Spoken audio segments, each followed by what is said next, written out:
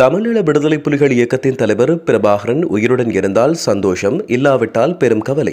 ஆனால் தலைவர் இருப்பதாக தெரிவித்து குழப்பத்தை ஏற்படுத்த வேண்டாம் என பிரான்சில் இருக்கும் மனித உரிமைகள் இல்லத்தின் இயக்குநரும் மனித உரிமைகள் செயற்பாட்டாளருமான சபி கிருபாகரன் தெரிவித்துள்ளார். தமிழீழ விடுதலை புலிகளின் தலைவர் பிரபாகரன் உயிருடன் இருப்பதாக பழநெடுமாறன் தெரிவித்த இந்த கருத்து பெரும் அதிர்வலைகளை ஏற்படுத்தியுள்ளதுடன் அரசியல் வட்டாரத்தில் பெரும் பேசு பொருளாய் மாறியுள்ளது. இது தொடர்பில் எமது ஊடகத்தில் கலந்து கொண்டு கருத்து தெரிவித்த போதே அவர் இவ்வாறு தெரிவித்துள்ளார். போராட்டம் எவ்வாறு முடிவுக்கு வந்தது என்பதை அனைவரும் அறிய வேண்டும். உடன் இருந்தவர்களே காட்டிக் கொடுத்தார்கள். இதன் அடிப்படையிலே போராட்டம் முடிவடைந்தது. துரோகங்களால் தலைவர் மனமுடைந்தார். மனைவி மதிவதனி மற்றும் மகள் துவாரகா தலைவரின் அனுமதியின்றி கட்டாயப்படுத்தப்பட்டே தாயகத்தை விட்டு வெளியே அனுப்பப்பட்டார்கள். அப்படி அவர் இறுதி யுத்தத்தை தவிர்த்து வெளியேறி இருந்தாலும் நிச்சயமாக அது அவருடைய சம்மதத்தின் பேரில் இடம்பெற்றிருக்காது. மாறாக கட்டாயப்படுத்தப்பட்டே பிரபாகரன் வெளியேற்றப்பட்டிருப்பார் என்பதே உண்மை.